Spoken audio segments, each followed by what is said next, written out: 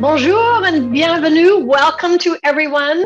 My name is Linda Witt. I'm the president of the Fédération des Alliances Françaises USA. I'm coming to you today from Portland, Oregon. I'm working with Melissa Soha, our National Programs Administrator, who is based in Washington, D.C. Melissa takes care of all the technology for our events and programs. So, Melissa, why don't you come on camera pour uh, saluer les gens? Bonjour tout le monde. Merci, merci, Melissa. So we'll get going with our slide presentation. I want to uh, go ahead and tell you first about a couple of events that we have coming pretty soon. And those are uh, starting off next Tuesday, we have an event in English. It's the authorized biography of Christian Dior. Uh, and then uh, coming in January, we have Demystifying the French, where we're going to welcome Adrian back again. And this will be on a panel discussion with three other experts on cultural differences uh, between the French, of course, and, and Americans. And then if you're interested in something in French, in fact, very fast paced French, then we have an event in February with uh, Luc Delambre. He's an author and an academic, and he'll be talking about the Napoleon influence in Washington, D.C. And then in March, we have the Art of Translation with, uh, with Sandra Smith, back to English again. Um, so I hope you'll consider attending any of those events. And then there's also two events that we don't have quite yet up on our website, but which will be there shortly. And I think you'll be interested in them as well. So I'll tell you about briefly about them. On December 14th, that's next month, we have, will have a live demonstration on how to make a bûche de Noël. And that's with the author of Maggie's Kitchen. And then on January 15th, we'll have an overview of the best immersion programs in France. Uh, and that uh, will include a discussion with Frédéric Lati uh, of the Institut Français in, uh, in Villefranche. So those are uh, some of our upcoming events, and you can visit them on your local uh, chapter's website or the AFUSA website. Okay, and then we also want to tell you very briefly about a special event that we have going online between now and uh, November 23rd.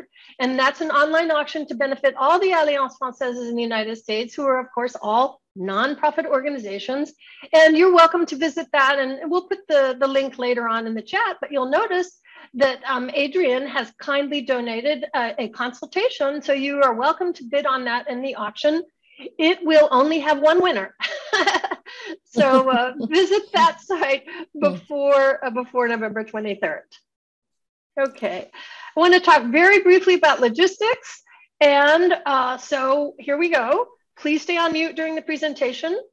We will be using the chat feature and we encourage you to use the chat feature to submit your very general questions. I wouldn't say very general questions, but we want you to avoid um, uh, asking questions that are, you know, kind of a personal or very specific nature. And then uh, just reminding you, there will be time for some additional Q&A at the end if your question isn't answered um, in the chat itself, because uh, Adrian has a colleague, Patty, who she'll be introducing shortly, who will be working with Melissa and I um, to, uh, to help answer questions in the chat. So fire away in the chat at will. You'll want to stay on speaker view so that you can see the slides. Adrian will be sharing slides. And then, it, you know, Zoom is pretty dependable, but if you get kicked off for any reason, you can just log back on in a few minutes uh, using the same link. And then as all of you have, I think, noticed, this event is being recorded for posting on our YouTube channel. And our total runtime today will be uh, right around an hour. So it is my uh, great pleasure now to introduce Adrian Leeds, who is widely recognized as the premier expert in French property, and in fact, in the whole field of moving to France and living in the Hexagon. Many of you have seen Adrian in her role as HGTV's top French real estate expert agent on the show House Hunters International. Adrian knows very deeply of what she speaks. She has herself lived in France for over 27 years. She arrived in Paris in 1994 and has since devoted her efforts to assisting other expats in their quest to fulfill their dream to live in France. Her company, the Adrian Leeds Group, is a licensed real estate agency offering property consultation services primarily for North Americans and other Anglophones wanting to live and or invest in France. So I've had the opportunity to work with Adrian on a number of occasions over the past 10 years, and we're very grateful that she's made time in her busy schedule to share her thoughts with us today. So a very warm, warm welcome to you, Adrian. Please take it away. Oh, Linda, thank you so, so, so much. Um, thank you also to Melissa and to the Alliance Francaise uh, across the US. This is, um, it's really a pleasure for me to be here and to make this presentation.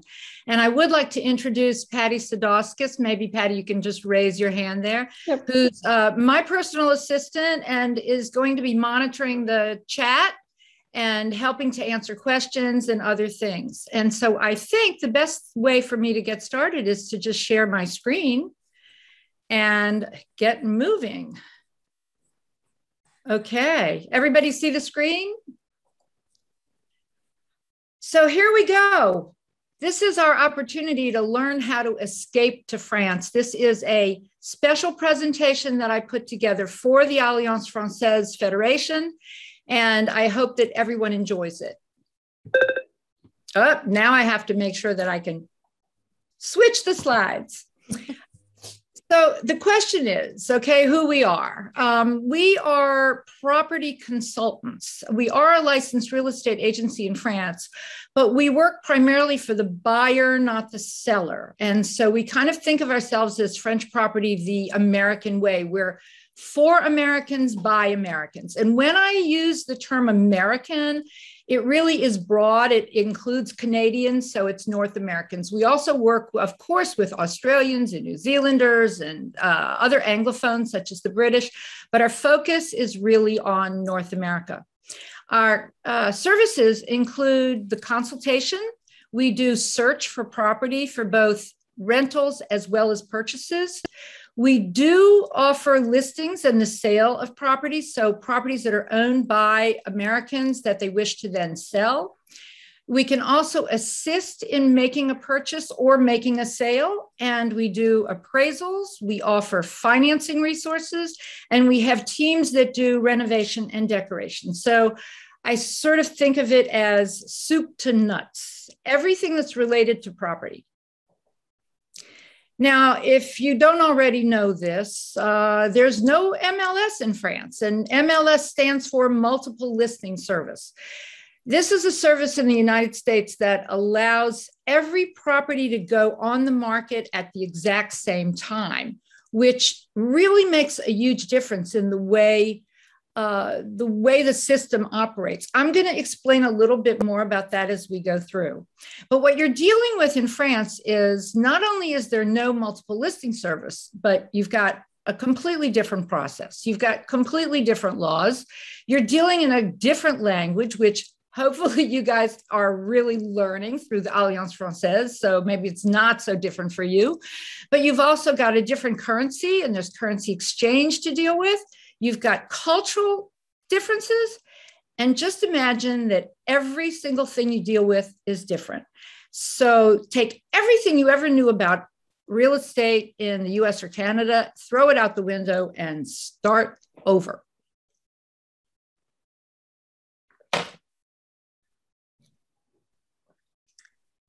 So, oh boy, I got to France. Uh, I first came as a tourist in 1979. I got hooked. I didn't want to leave. Doesn't that happen to everyone? everyone I know, anyway. And ended up moving to Paris in 1994 for a one year sabbatical to test the waters with my family and just never left. I hear that story a lot too.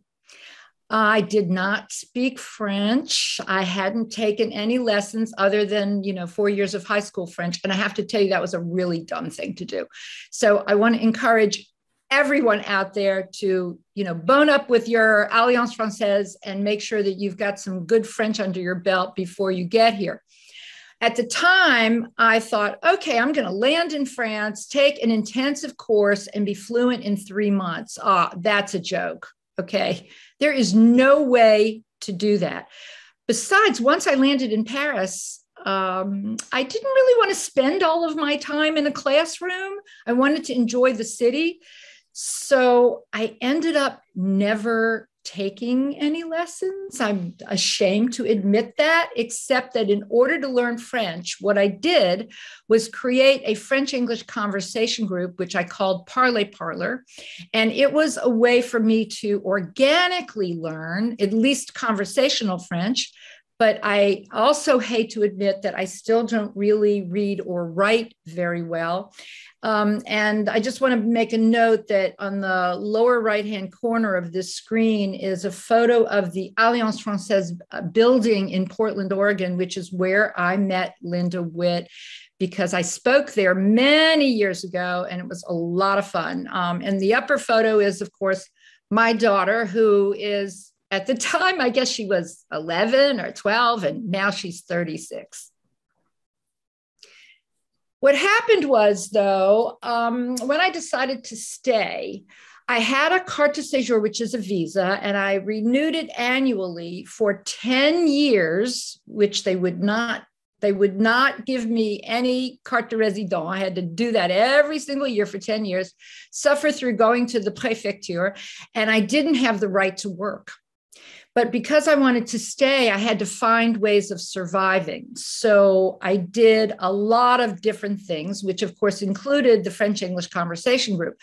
But I ended up working with a developer and uh, learned how to develop websites for clients.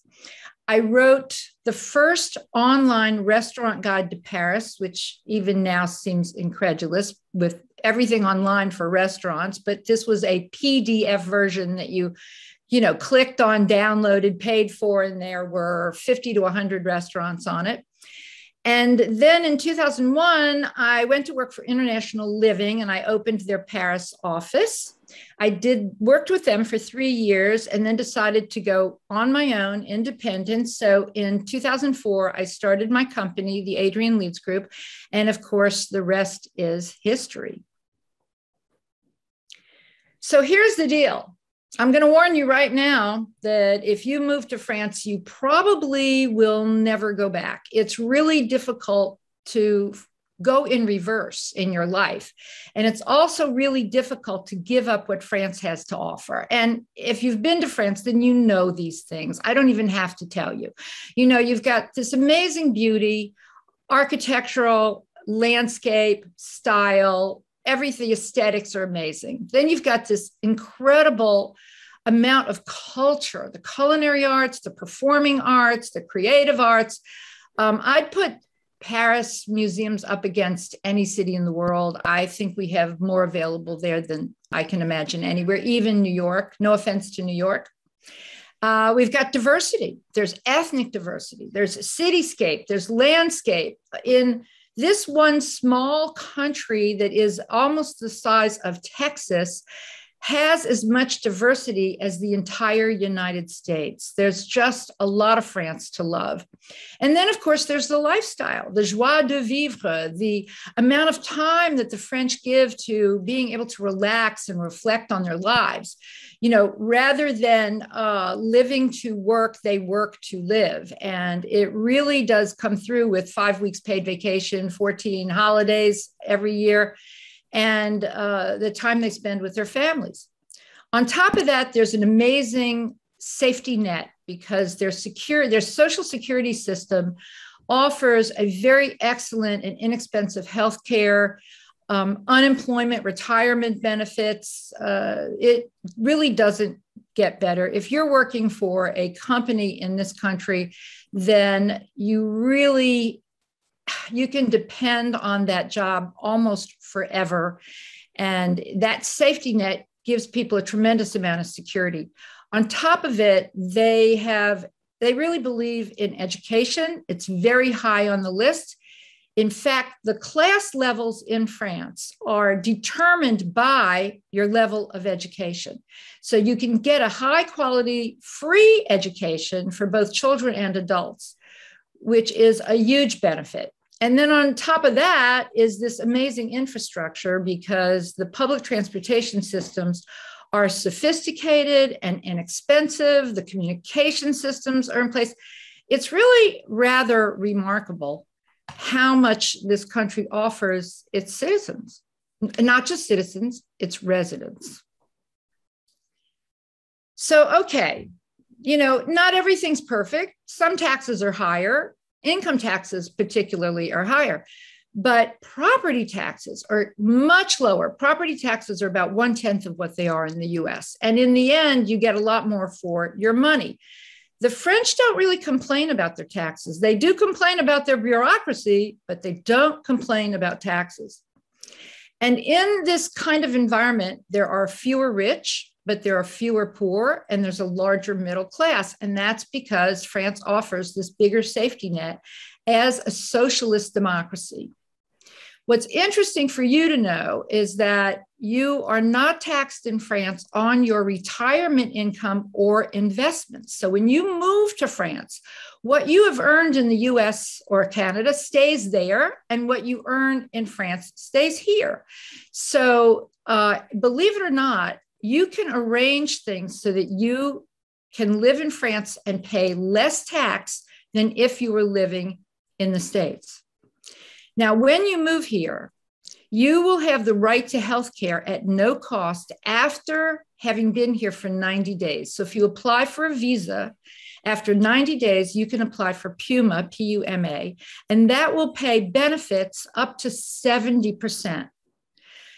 You can top that up with what's called a mutuelle insurance policy, so that you can actually have 100% coverage with no deductible. I have a mutuelle uh, that does exactly that. And for my mutuelle is, believe it or not, about 1600 euros a year. That's all. And I'm of a certain age. So I think it's pretty amazing. And you'll find that overall, the healthcare costs are about one tenth of what they are in the US. And if you don't already know this, you should. The WHO has ranked France number one in healthcare in the world for many, many years. So, this is a fear you need to give up that you will get the best care you've ever had here in France. Now, as an American citizen or Canadian, you are permitted to stay 90 days within any 180 day period without obtaining a visa. For stays between four and 12 months, you can be issued a long stay visa that's equivalent to a residence permit. So that makes you a full a full-fledged resident but not a citizen. In order to acquire the carte de séjour, you just have to show that you can support yourself econo- uh, economically, financially, which is SMIC or minimum wage. So it's not a very large amount. You have to show that you have accommodations in France, which is something we can help you with, of course, and that you have medical coverage, uh, uh, just an insurance policy, even a temporary policy. You have to also formally agree not to engage in any professional activity during your stay in France. But I want to clarify what that means. What the French government is saying is that they don't want you to take a job away from a French national. But you can continue to work for a US company and be paid in the US. And this is something that we can also help you understand and work through in order to find a way to earn a living once you've moved into France. And of course, now so many of us can work remotely that it's it really makes it simple. Now, I want to make sure though you don't confuse legal residency with tax residency. Tax residency is where you live 183 days or more, or where you consider home. But because there's a tax treaty between France and the US, you will not pay tax twice on the same income. So, this is a very important thing to understand. Uh, there's a link at the bottom of this slide that takes you to the official website for France visas. It's not complicated to apply for a French visa go to the site, check it out. If you feel that you really want some assistance with this, we have resources. We have immigration attorneys and other people who can help you through the process. So, not to worry. French. um, as I said, you know, I had my ups and downs with French, but we all know it's really the most beautiful language. And it's not an easy language to learn. And you all know that because you're taking courses at the Alliance Francaise. Do it now. Okay. You don't need the French in order to apply for the visa, but it will make a huge difference in how you integrate and into a truly French lifestyle. So, my recommendation to you is to do as much as you can now with your classes, go as far as you can, get your level of French as comfortable as you possibly can, but do not expect to be fluent very quickly. Do not put the kind of pressure on yourself that I did because it takes a really long time to get it right. And I don't know if you've heard this expression before, but uh, in French, La meilleure façon d'apprendre une langue étrangère est sur l'oreiller. And I'm sorry for my horrible accent, but basically what that means is the best way to learn the language is on the pillow, meaning in the bedroom. So, you know, there's a lot of France to love. Uh, it's pretty difficult to even decide where you want to be. If you want to be in Paris, expect a very urban lifestyle and the highest cost of living. Paris is mostly expensive because of housing. Everything else is maybe pretty much the same, except restaurants, things like that are going to be more expensive. But of course, it's Paris.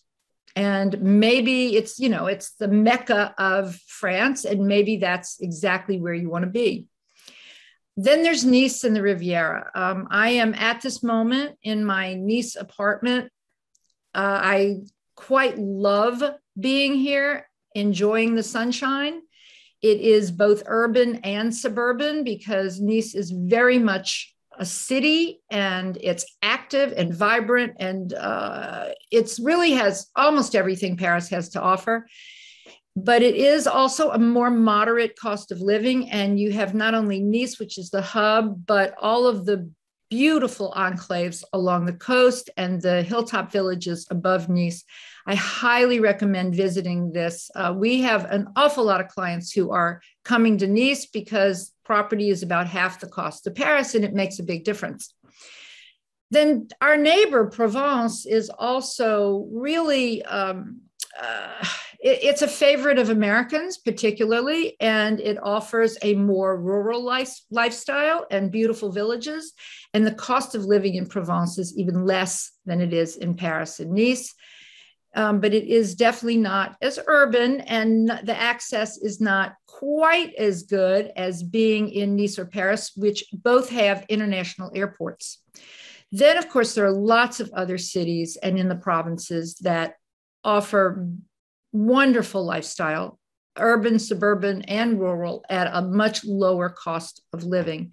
In fact, you know, 300,000 euros can buy you a really beautiful villa in France. Um, I think you'll get a lot more property for your money in general in France than you would in North America. Now, this is my checklist. These are things that I believe you should consider when you're trying to decide where in France you'd like to be. I, I, personally believe that it's really important to have a thriving American community. And that's because you're going to make a lot of friends. When you meet the American community in France, these are people who are just like you.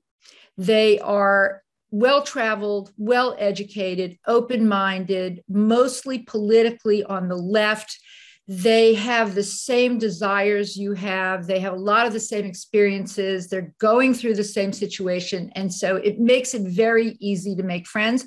And you're going to need people with whom you can you know, commiserate because the cultural clashes are tough. So you want people you can depend on. And then, of course, having really good, fast, and easy access to transportation. So I believe it's important to be close to an, a good airport, close to a good train hub, and have good local transport. For me, I really enjoy not owning and operating a car. And not only that, but having a car in France means obtaining a French driving license, which is in itself a big to do. It's expensive, it's difficult. And then owning and operating a car is expensive. You know, the AAA says that owning and operating a car is a, an average of $10,000 a year. And so in France, it's going to cost more because the price of gasoline is four times what it is in the US. So I highly recommend living in a place where you don't need to have a car and getting out of that bubble that you've been living in. And of course, that does mean being in more urban places. Now, you do want to consider cost of living because Paris is expensive. Other places in France are a lot less expensive. You will want to decide whether you want to rent or purchase. These are all decisions we can help you make. Another aspect is whether you've got access to good, not only good healthcare, but good hospitals, because when you're in an urban environment, you will have access to better hospitals and healthcare. If you're here on business, then you may want to explore business opportunities, or maybe what you want is really cultural. Maybe you want both. These are things to think about. And then, of course, language level. Do you need to be in a place where people will speak English, or is or are you fluent enough in French that you can really be anywhere in France, even in La France profonde? And uh, bottom line is urban or rural. Do you want an apartment, or do you want a village house, or do you want a house in the countryside? And I did not even include a chateau on this slide because chateau is not what I recommend. And that's a conversation we can have another time. Now, if you're trying to decide whether you should rent or buy, there's no question that when you rent, it allows a lot more flexibility. You can rent in an area and then easily cancel your lease and move to somewhere else so you can test out the waters in various neighborhoods or various cities. But keep in mind that you are paying someone else's mortgage and you can't really make a rental your own. While owning the home, of course, gives you security as a long term investment. So we generally recommend buying if you feel confident enough to be able to do that and have the financial wherewithal, of course. With renting, leases in France are very specific. A one year lease is a furnished rental and it comes with a 30 day cancellation. So it's a very easy out. If you rent something unfurnished, it's a three year lease with a 90 day cancellation, except in the city of Paris, which offers a 30 day cancellation. And that's because Paris has a terrible housing shortage. So they want to move the property faster. The laws favor the tenant, which you as a tenant might think is pretty fabulous. But because it favors the tenants, the landlords need to they need to secure their own situation. So they're going to require some sort of hefty security, like a year's worth of rent in an escrow account or an insurance policy, which is uh, provided by a couple of different companies. We recommend Garant Me and Unkle. So garantme.fr, unkle.fr with a K. Uh, and these are insurance policies that, believe it or not, you as the tenant take out to protect the landlord from you as the tenant not paying the rent, which seems a little bit crazy to me, but it's what makes the landlord feel secure and it costs a few extra bucks every month and it's well worth it. Now, the rental properties are not that hard to find, but they are definitely hard to secure. And we work very hard at convincing the landlords that our foreign tenants are you know, good for the rent and they're not going to squat in the property. They do favor uh, the French who have an indefinite work contract, which is called a CDI. That's gold because financially they feel really secure. So just keep this in mind uh, when you're looking at rentals. And we do offer a service to find the rental property sight unseen, so you can move right into it or with our client who visits the properties and can make his or her own decision. When it comes to buying property in France, anyone can purchase property in France. You do not need any kind of a special visa.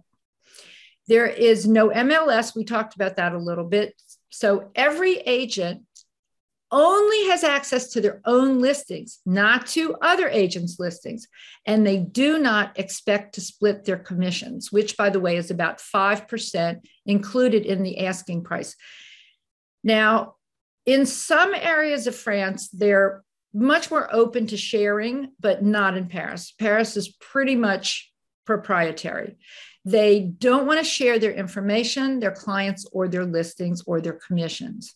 So, you know, you have to really be careful. It's called buyer beware because the agents will say almost anything or do almost anything to make that sale. They really don't care about you as the buyer, they care more about their pocketbook and selling the property.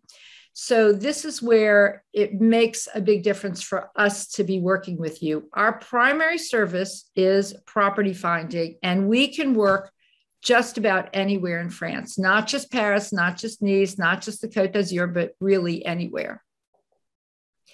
We work with mortgage brokers who specialize in the North American buyer.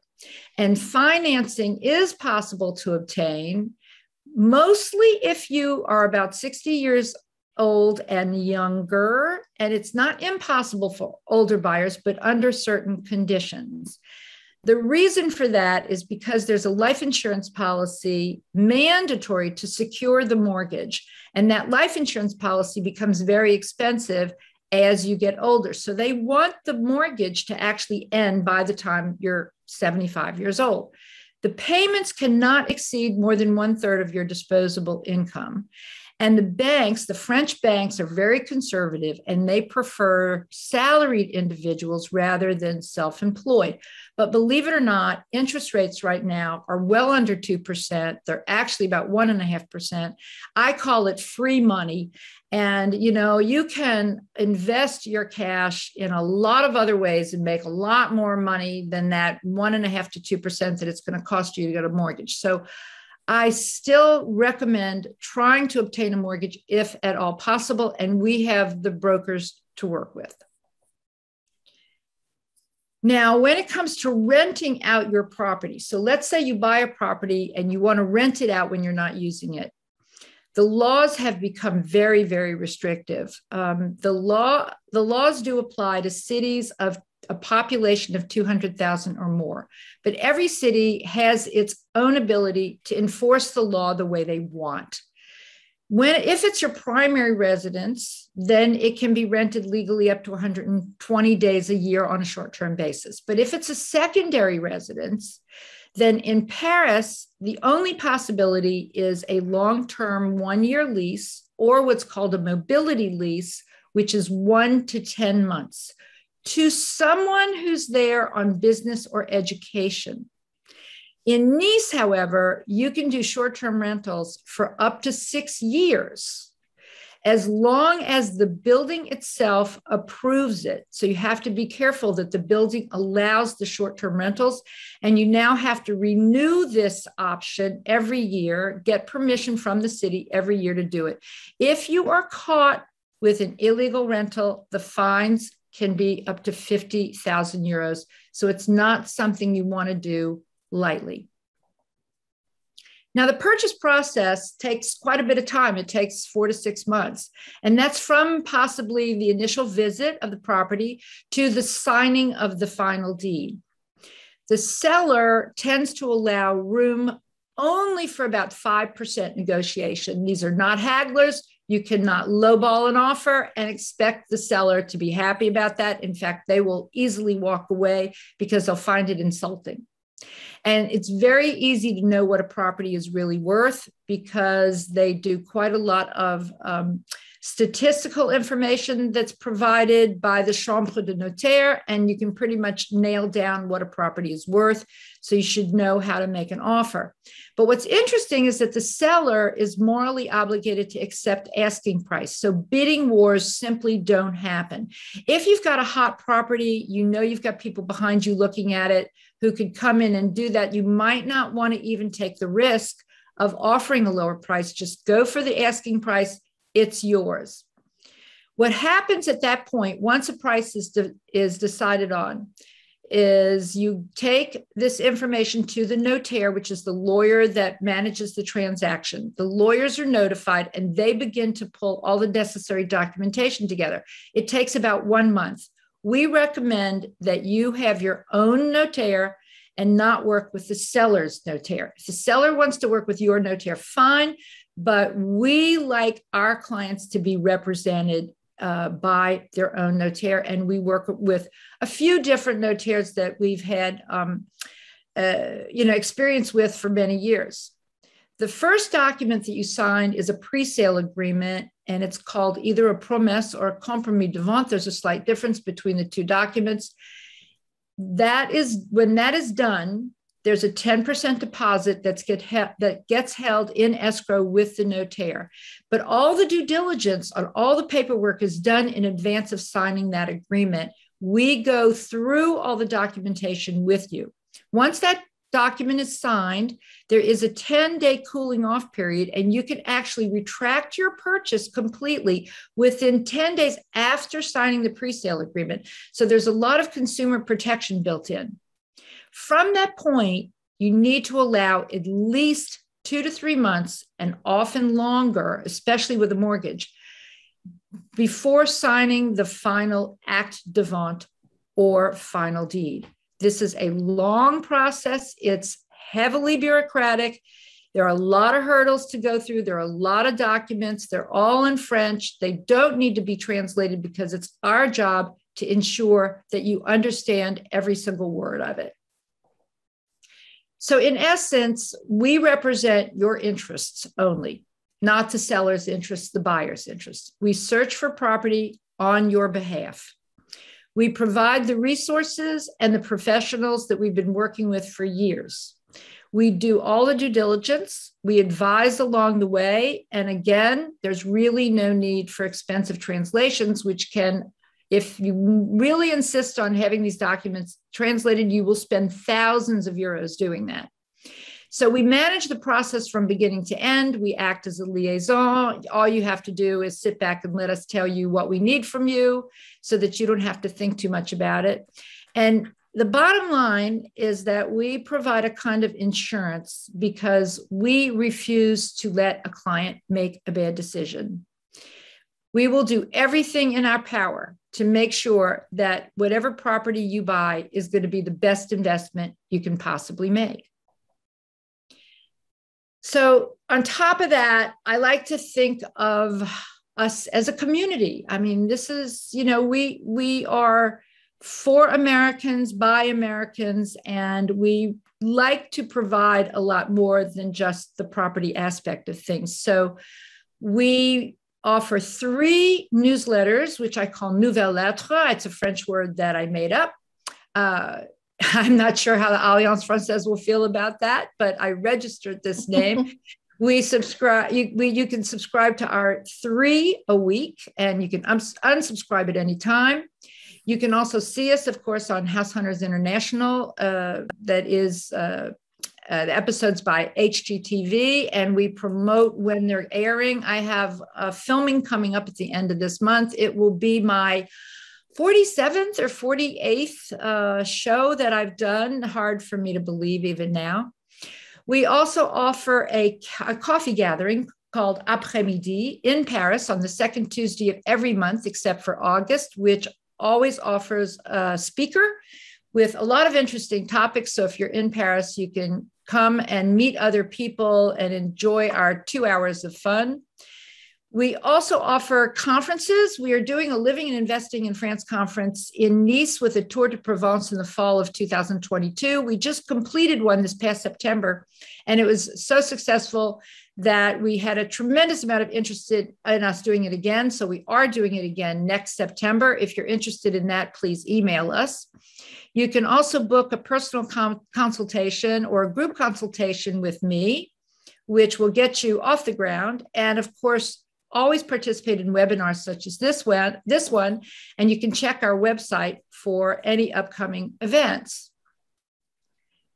So the truth is, it's really easier than you think. We have helped hundreds of people, maybe thousands. I haven't really counted, but I can tell you that my files are long and uh, thick.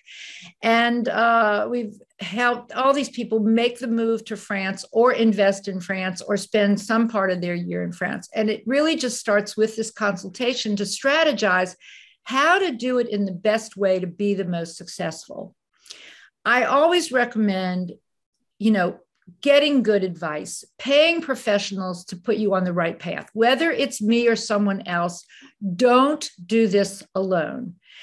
Uh, I also recommend not letting the fear of this get in the way of your dreams. Just put one foot in front of the other. And if you can replace the word expectations with the word hopes, oh, you will never be disappointed. And of course, prepare in advance by learning French. Uh, this gentleman who is singing, uh, this is a, a shot from a recent House Hunters International show. That is John Garland Jones. He moved to France, he moved to Nice. He had a dream to become a singer. He became a singer. He's still here years later. Uh, he has a big singing event tomorrow night here in Nice that we're all going to attend. And uh, if John Garland Jones can do it, anybody can do it. So on that note, I think it's time for a Q&A and I'm going to stop sharing my screen. This is our website. Here's an email address so that you can email us and um, I'm going to let it go. Okay, thank you. Thank you, Adrian. That was a lot of information. And I saw that in the chat, Patty was very, very busy answering a lot of the questions that came up but I think that um, we want to take some of those questions uh, uh, again, or or in addition to what was covered in the chat. Patty, uh, can you get us going on that? Sure, I'd be happy to. Um, one question that came through the chat for Adrian, I guess I guess they're all for you, Adrian. Um, somebody asked, "Why do you say that you can't ever go in reverse?" Ah, that's a very good question. um, because, first of all, you can't, you're always moving forward. I mean, just physically, you're moving forward. But once you have discovered this lifestyle and this other world, you will look back and you will see your life in a very different perspective you're going to broaden the way you think about everything. And it's just impossible to go back to living with blinders on. Uh, I, it, it's a tough thing to explain, but I'll bet that if you ask every single American who has moved over here, they will say just about the same thing. That it's, you know, when you're in a situation, you don't know, you know, like living in the US, you don't even understand how life can be so different for example, um, I'm particularly fond of cafes, cafe life, hanging out in the cafe, taking my computer, working away, communing with other people, and not living in my bubble, the kind of bubble I used to live in. That change in lifestyle is just enormous. Um, I love the fact that I can get on a plane or a train and be in another country in a couple of hours. Uh, that's pretty tough to give up, things like that. So, no, you can't go in reverse. What else, Patty? Okay. Um, I think we had more than one question about how big an issue is the wealth tax. Well, talk a little bit about the wealth how wealthy tax? you are. um, so wealth tax is not as much as one might think. The tax itself is not huge, but you don't pay tax twice on the same money. Keep that in mind. With good tax advice, with good tax advisors, you can really find ways to minimize that. Um, but quite honestly, after living in a socialist democracy and seeing how the playing field is level, more level, I don't really have that much sympathy for people who have huge sums of money. No offense, but how much money do you really need to live on is my question. And at some point, um, there's a point in the wealth tax, and that supports this infrastructure we have in France that enables everyone to have good health care and everyone to have a quality education and everyone to have a good public transportation system. And so, after living here 27 years, I quite agree with that.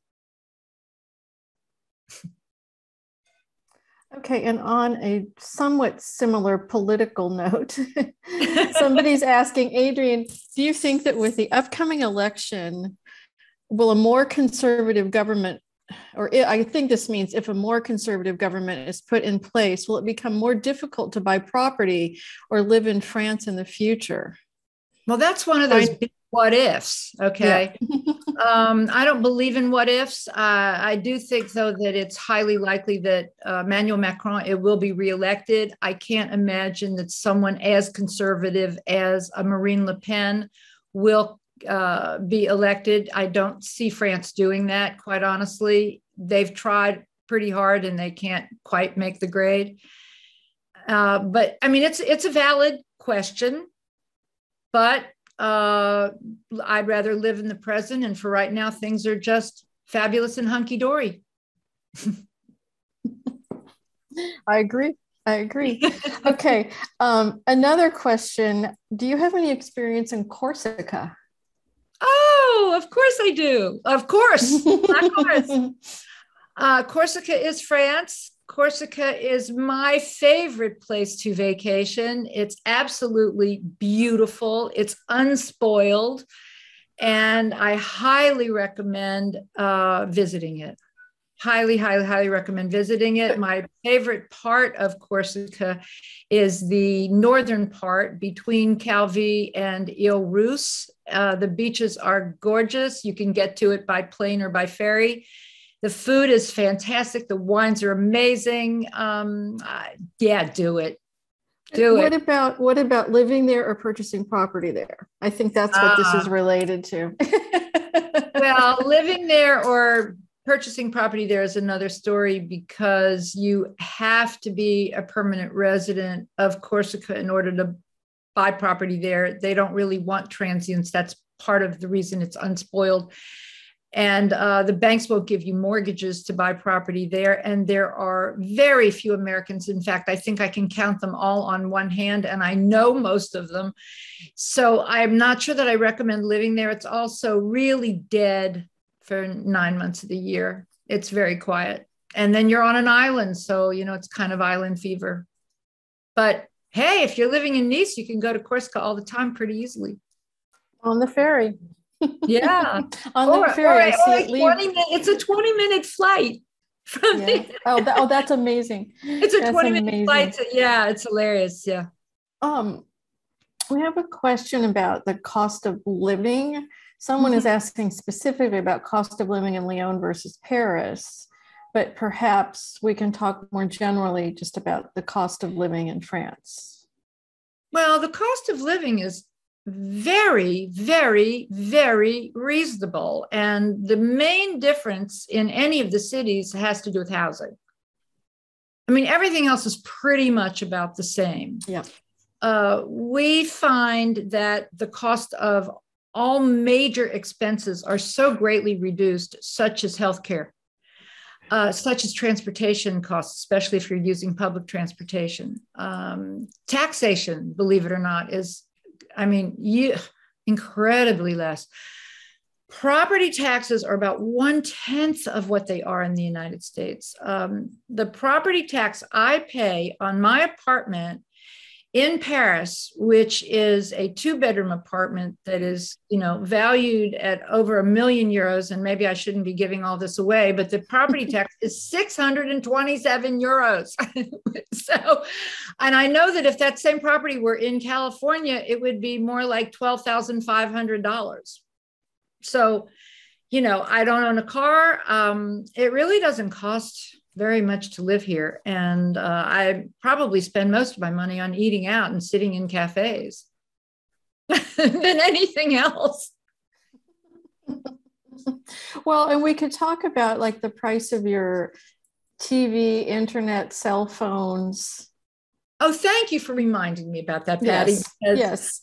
Um, every client I talk to from the especially especially from the states complains that their uh, internet and their cable TV and their VoIP phones cost two hundred dollars a month and up, and that is a service that we have for believe it or not as little as fifteen ninety nine plus tax a month.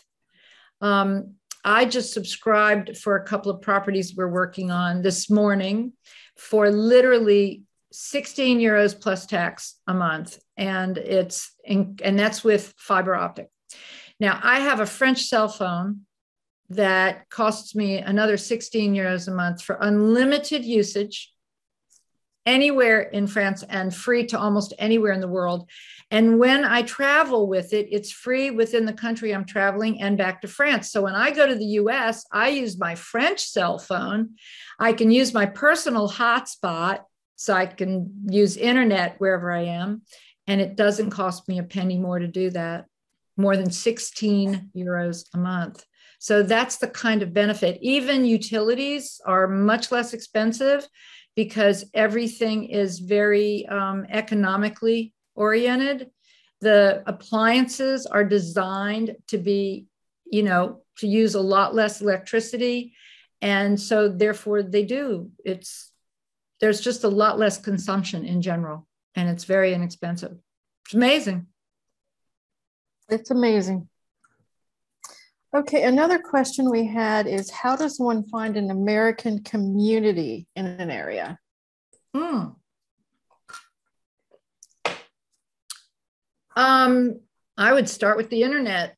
Basically there are so many organizations and meetup groups just by surfing the internet you'll find them very easily there's a democrats abroad there's a, a republican organization there's international uh, there's um, oh my god uh, AARO aaro Amer- association of americans retired uh, resident overseas there's numerous organizations you can participate in. And then there's all these just sort of free form meetup groups. Even the, the monthly coffee gathering I do is a great way to meet meet up with other Americans. And um, it's pretty easy. Americans like to they like to convene. They like to uh, organize and meet other Americans. And I find it very, very easy to make friends. If you're in Paris, it's particularly simple. Nice is even more amazing. And uh, the other communities are growing. You know, communities in Lyon, community in Bordeaux, community in Montpellier, Strasbourg, these American communities are growing and it's easy to tap into them. Okay, another question is Are house inspections included as part of the purchase process? Oh, that's a good question too. No, the house inspections are not done. The seller is obligated to provide diagnostics of the apartment or the building, and they are done by a licensed diagnostician, and they provide as much information as you can possibly get about a property, and therefore inspections are just not generally done. So, uh, another quick question where and what time is the monthly coffee gathering in paris and i'll put a link i'll put a link in the chat too. Okay second tuesday of every month except august from 3 to 5 p.m at the café de la mairie upstairs which is on the corner of rue des archives and rue de bretagne in the third arrondissement.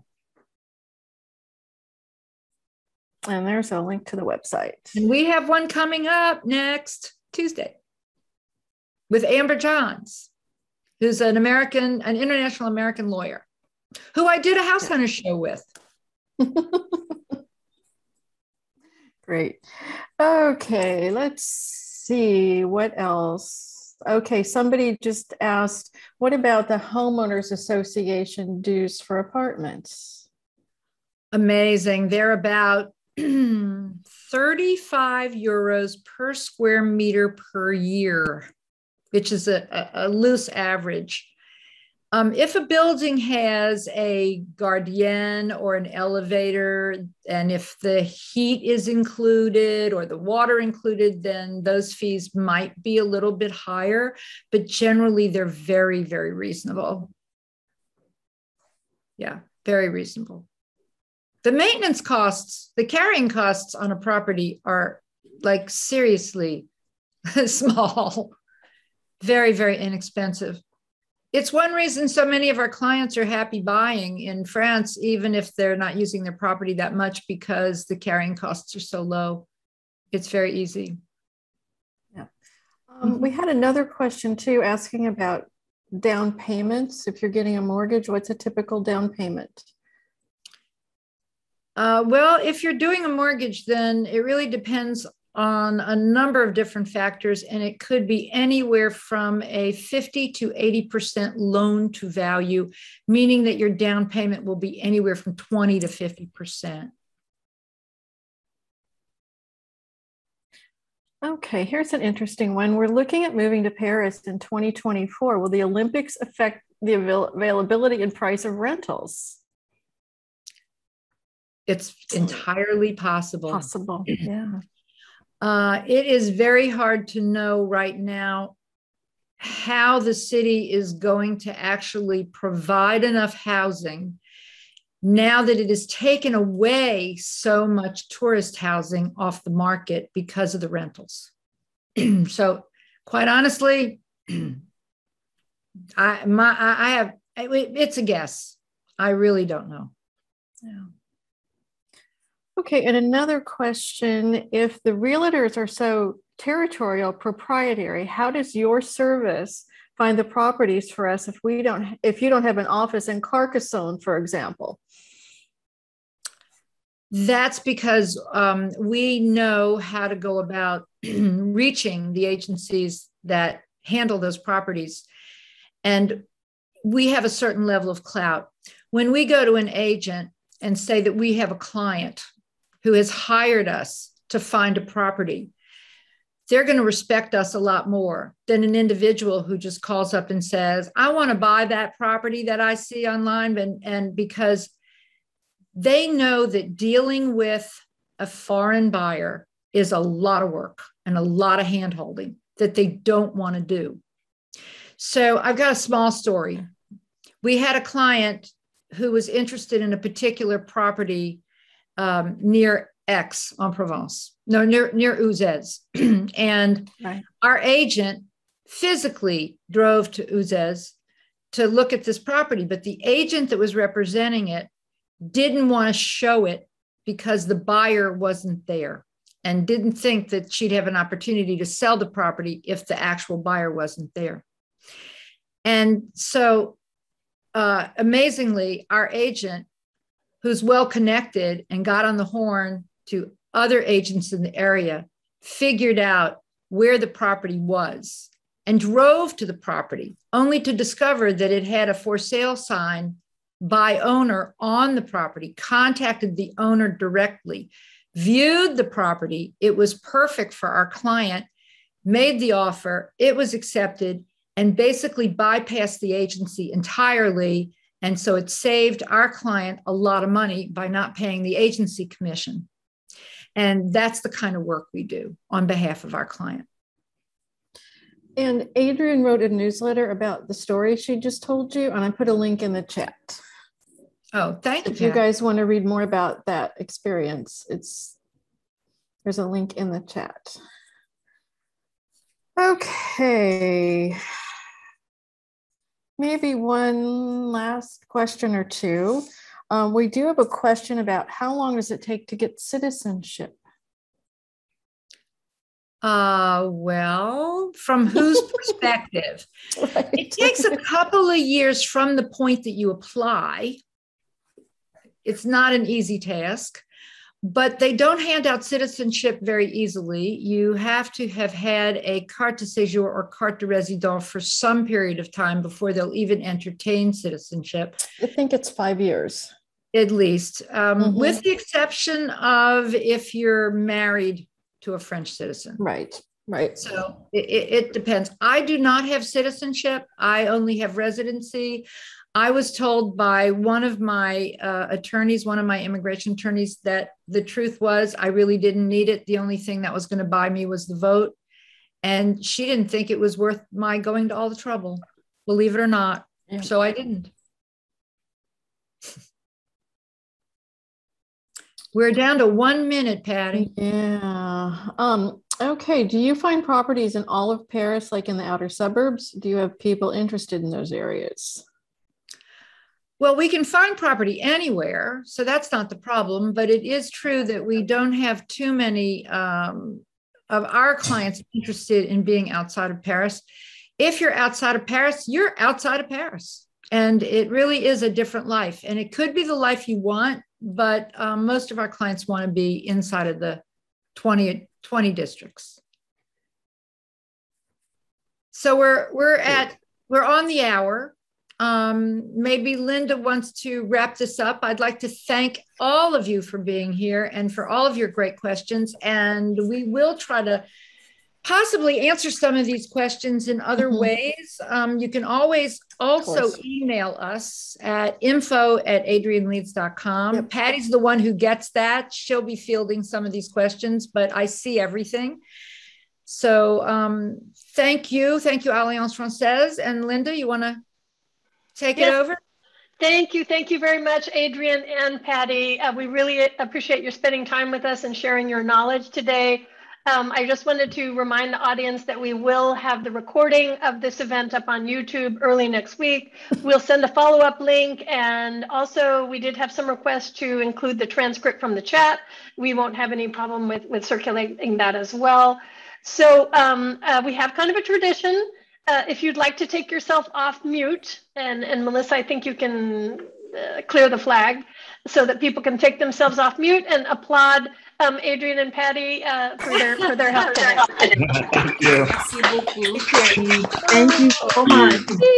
Bravo, bravo. Thank you. Very good. Wow. Thank Thank you. you. Thank you. Thank you very much. À Bonne journée. Au revoir.